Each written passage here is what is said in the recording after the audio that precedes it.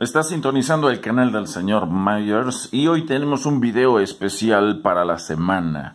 El video especial es el bootleg mexicano, los juguetes de mercado o los juguetes como os quieras llamar. ¿Son coleccionables o no son coleccionables? Es lo que vamos a ver a continuación. Este video está inspirado gracias a un video de un buen amigo que es Chipo Cervantes. Él había hecho eh, una continuidad había hecho dos videos que había yo visto respecto a si los juguetes bootleg son coleccionables o no. Y es lo que vamos a desmentir porque en los grupos de Facebook, redes sociales y algunas personas dicen que no es coleccionable, que son piñateros, que son juguetes basura. Oh, entonces es lo que vamos a desmentir. Si tienen razón o no tienen razón, vamos a ponerle fundamentos y vamos a hacer un buen video. Así es que quédate, acompáñame y comencemos. Bueno, primero, todo objeto que, de hecho, todo objeto es coleccionable, de cualquier objeto que quieras. Podríamos meterle ciencia o podemos utilizar lírica. Con lírica los tumbo. Eso me suena familiar. Bueno, no precisamente, pero bueno, si pensamos en objetos, o si pensamos en una continuidad de objetos, para mí cualquier objeto es coleccionable. Piedras coleccionables, latas coleccionables, este, insectos disecados. Hay gente que los colecciona, es algo extraño, pero bueno, un botánico, un biólogo o alguien que tenga gustos excéntricos, bueno, pues los va a, coleccionar por una u otra situación, ¿no? Por cuestiones de ciencia. Hay gente que colecciona fotografías, es decir, mientras haya una continuidad o, usar objetos seriados, pues es coleccionable. Eh, digan lo que digan, aunque a algunos no les guste, es como por ejemplo, se me hace extraño que haya gente que coleccione este, aparatos electrónicos antiguos. Y sin embargo, pues como hay muchos, no solo es uno, hay muchos, entonces se van a, a tiendas de viejo o a bazares o mueblerías donde venden solo muebles de época. Entonces ahí pues a uno se nos hace extraño y uno dice, ¿cómo es posible? Eso no es coleccionable. Pero el problema es que no solo es una persona, son muchas personas y cada quien debe coleccionar lo que se le pegue su gana, ¿no están de acuerdo? Sigamos más con este video. Por otro lado, el bootleg, bueno, pues ya tiene sus años, no es no son figuras actuales, estamos de acuerdo que Muchas de ellas son copias de un molde original, otras no son copias. El personaje, bueno, el personaje existe porque lo inventó alguien y le dio una patente y, le, y está registrado como marca registrado. Pero pues hay personajes que son universales y que pues propiamente que digas lucrar y le puedas llamar piratería, pues como quieras, como quieras, ¿no? Ya es cuestión de qué tan... Eh, nítida sea tu mente o qué tan, ¿cómo se dice? Más bien no nítido, qué tan doble moral seas o qué tan fijado seas para que te andes espantando, ¿no? Hay que entender alguna situación que lo he mencionado muchas veces. Eh, el bootleg, para empezar, es coleccionable porque hay una gran variedad y de lo que tú quieras hay figuras y juguetes, ¿no? Existen bootlegs que propiamente serían originales, como son carros. Hay carros que ni siquiera existen eh, o no tienen marca, son inventos que existen en la industria nacional, lo vamos a llamar. Como tal industria, eh, mediana industria, porque si hay mediana industria, todavía generan coches estilo bootleg o de plástico soplado, donde pueden hacer boliches, pelotas, este, coches y otro tipo de juguetes, ¿no? Este, vaqueros. Y pues sí, es, sí existe, yo creo que muy pocas, ¿no? Veía yo una vez para el Canal 11 una fábrica donde hacían puro juguete mexicano, ¿no? Entonces a ese a lo mejor no le llamas bootleg porque pues tiene una marca, pero pues el tipo de plástico y todo pues es como si fueran bootlegs, así más o menos. Ahora por otro lado yo lo que hago es rescatar el trabajo nacional, ¿por qué lo rescato? Porque Pudiera ser que algún día desaparezca por cuestiones que de permisos. Hay una vendedora aquí cerca que me decía que pues ya no hay tantos puestos como antes de este tipo de juguetes porque luego se los cierran, que porque si es piratería, que a fin de cuentas no es tanto por eso, porque pues eh, tú mientras tengas tu permiso para vender y todo, pues no hay bronca. Yo siento que también hay gente envidiosa que dice, eso es piratería y a lo mejor le dan lana a la autoridad o, se hacen los espantados y pues la autoridad dice, pues sí, sí, vende fayuca, como antes no le llamaban fayuca. Esto no le, no le podemos llamar fayuca porque la fayuca se le consideraba a productos que venían pues de contrabando al país, ¿no? Que no tenían, digamos, pues los permisos necesarios para importar, ¿no? acá al país.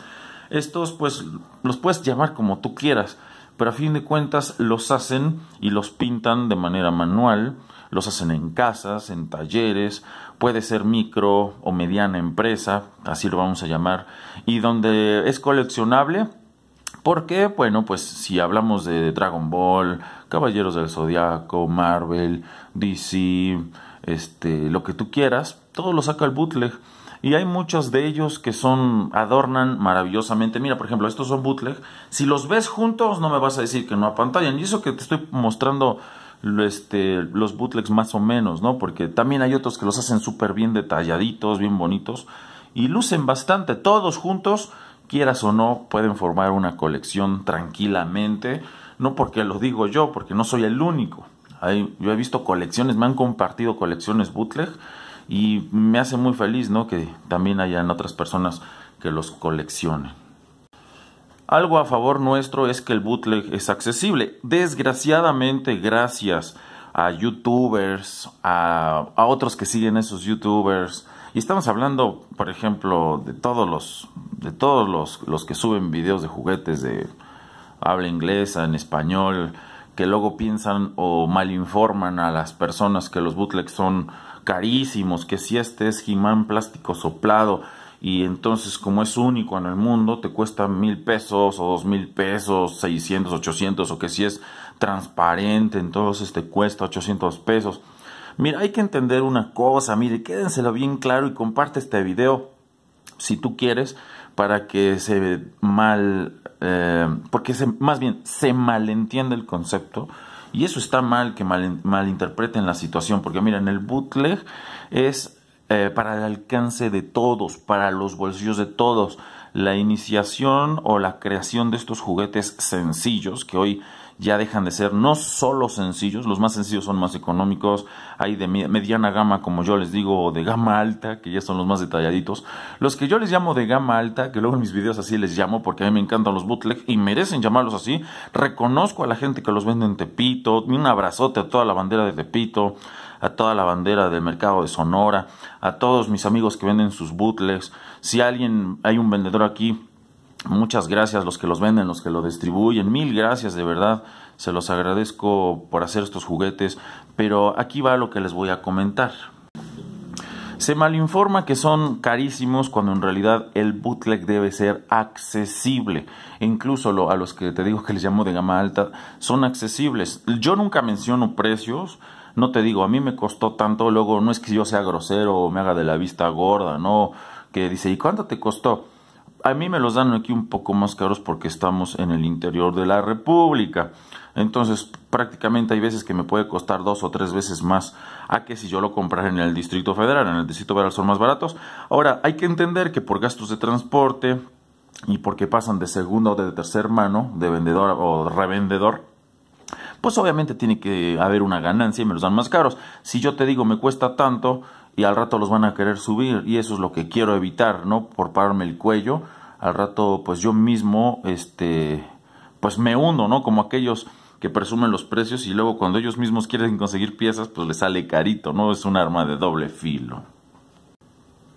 Si me preguntas que si el bootleg es coleccionable, bueno, ya te di razones y evidentemente por accesibilidad, por diversidad, por colorido, por lo que representan, por nostalgia, por muchas cosas el bootleg es coleccionable y también es coleccionable porque no lo coleccionamos solo un personas, una persona, dos personas, tres personas, muchas personas.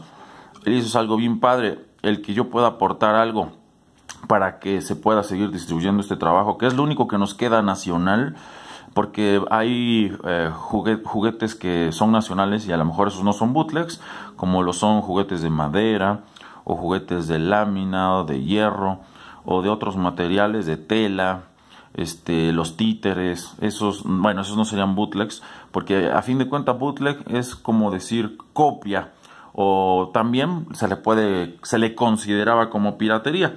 Algunos de estos juguetes podríamos llamarlo así, porque pues podría ser, en algunos casos son como clones, pero hoy en día más allá que un clon o que una copia, pues a fin de cuentas es el personaje que representa. Antes era muy común usar solo el, el bootleg, correspondía a un solo molde, hoy pues ya no solo se basa en un molde, no sé cómo le hacen y ya son trabajos que ellos mismos hacen para que pues tengas al personaje que tuviste en pantalla, ¿no? Y eso se agradece mucho porque no tienes que estarte gastando los millones de pesos, los miles de pesos o, o dólares o lo que sea. Si el gringo se gasta la lana en, en los bootlegs y paga mucho dinero, pues es su bronca. Pero nosotros en México no podemos pagar los precios locos que que luego ponen bootleg ochentero, bootleg noventero, te cuesta tanto. Y resulta que es más caro que el original. Entonces ya eso ya es una mala información, un abuso desde la primera persona que dijo que costaba tanto hasta los borregos y los malintencionados y los que dijeron vamos a aprovechar la situación que dijo este Toribio o estos tontitos para subirle el precio total. Hay gente que los compra porque pues está mal informada, es ignorante y piensa que pues esas figuras, aunque valen la pena, no se debe pagar más, no pagues más de lo que no es. Por eso son bootlegs, son accesibles para todo tipo de público y pues son excelentes, son hermosos. Aquí por ejemplo te puse una muestra de algunos de ellos, ¿no? Este para que pues los disfrutes. Pues sígueme en todos mis videos, comparte este video, regálame un like si tú quieres. Y bueno, pues a quien no le guste el bootleg, pues no lo compres, simplemente no te gusta, no lo compres. ¿Te gustan los figures? Cómprate tus figures, si te alcanzan. Este, si no te alcanzan, pues te compras otros, ¿no? Ahora que si de plano este, quieres ese personaje, pues cómpratelo en bootleg, es muy accesible. No los critiques porque mira, desde los 80 hasta el día de hoy, muchos niños han tenido juguetes en sus manos cuando a lo mejor ni siquiera pudieron haberlos tenido por la economía. Entonces, ahora resulta que porque a ti no te gustas, porque a ti no te gustan, ni a ti te gustas a ti mismo, entonces no los niños o los adolescentes vas a criticar porque tienen bootleg y les vas a hacer bullying porque tú eres bien chingón.